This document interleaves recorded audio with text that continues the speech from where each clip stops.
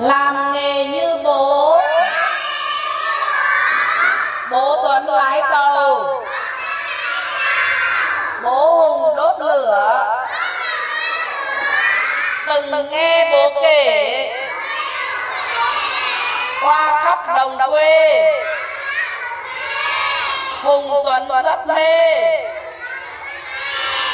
Làm nghề như bố bao nhiêu ghế nhỏ. Buộc níu vào nhau. cu tuấn làm tàu. hùng làm người lái. thổi kèn lá chuối.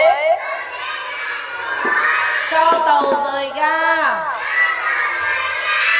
Chạy khắp lòng nhà.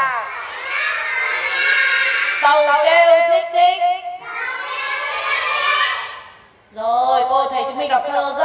giỏi hôm nay chúng mình đọc thuộc để về đọc cho bố mẹ nghe, đồng ý không? Cô khen cả lớp mình một tràng vào tay thật to. Bây giờ cô sẽ hỏi này. Thế cô hỏi là, thế bố văn phúc làm nghề gì? Con đứng lên. Bố con làm nghề gì? Con thưa cô. Đứng hẳn lên, con thưa cô. Bố con làm nghề gì? Bố làm nghề gì nhỉ? À cô anh biết bố bạn phúc làm nghề nhà báo đấy. Thế lớp mình à, bố bạn nào làm nghề bộ đội? Bố bạn nào? À bố bạn châu làm nghề bộ đội à? Thế có bố bạn nào làm nghề bác sĩ không? À bố bạn linh sana làm nghề bác sĩ à? Thế còn à, bố bạn nhi? Bố nhi làm nghề gì? Bố nhi là doanh doanh nhân hả? Các con ạ à, bố mẹ chúng mình làm rất nhiều nghề khác nhau nghề nào cũng cống hiến cho xã hội. Để làm ra của cải vật chất cho xã hội đấy chúng mình phải biết thương bố mẹ đi học phải biết vâng lời cô học giỏi chăm ngoan học giỏi. Để bố mẹ yên tâm công tác chúng mình đồng ý không? Đọc lại cho cô làm nghề như bố không được hết bố tuấn lái tàu. Bố hùng đốt lửa. Từng nghe bố kể.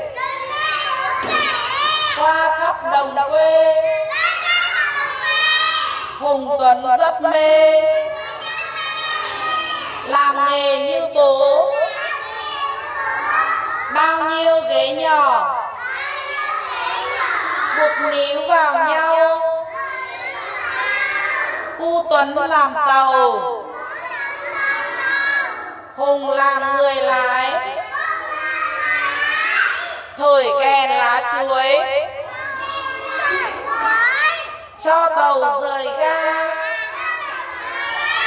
Chạy khắp lòng nhà. Tàu kêu thích thích. Một tràng phá tay khen tất cả các con biết được thơ theo cô?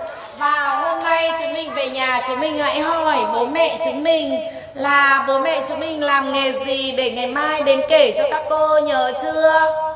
Nhớ chưa? Hôm nay về hỏi bố mẹ ơi, bố mẹ làm nghề gì để đến lớp kể với các cô để kể xem bố mẹ mình làm bao nhiêu nghề nhá. Một tràng vào tay khen các con, vỗ tay đi.